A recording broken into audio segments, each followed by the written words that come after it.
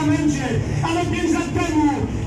w domu i zawołałem, ja tak nie chcę żyć, ja tak nie chcę żyć, Boże, zabierz mnie stąd, albo nie zmień. I do mnie, Jezus Chrystus Duch Święty, zszedł do mojego serca, zszedł tutaj dla mnie, bo mnie tak pokochał. Dwa tysiące lat temu umarł za takiego hachara jak mnie, umarł, przybili go do krzyża, był tu jako człowiek, cierpiał, ale on poszedł sam na krzyż, dla Ciebie, dla policjanta,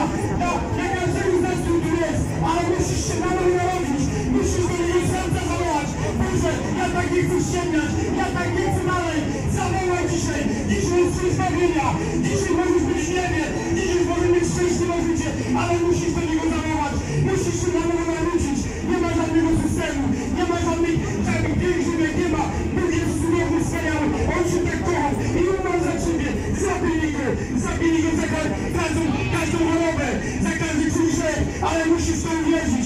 Ty tego chcesz, zawołaj do Niego, dzisiaj jest Wasz wielki dzień, wielki dzień, Amen.